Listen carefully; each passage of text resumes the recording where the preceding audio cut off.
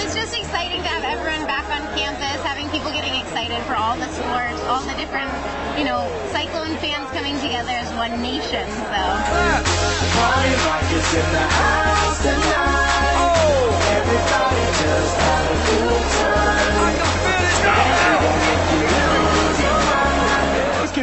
Just came out here, had some fun, give them a little taste of Cyclone football.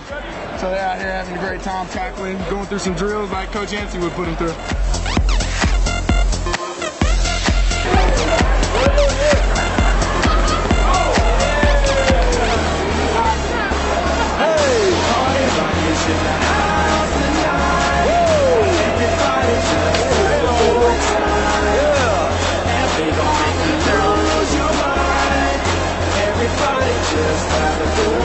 Uh, favorite part, the old fans coming out, supporting us. It uh, means a lot to us. It's, it's tremendous, it's humbling, but to know that all Iowa State fans actually care and support us as much as they do. favorite part is uh, getting to interact with the kids, and I got a sense of humor, as everyone knows. So I get to I get to let my my uh, my funny side come out and make everybody smile and laugh.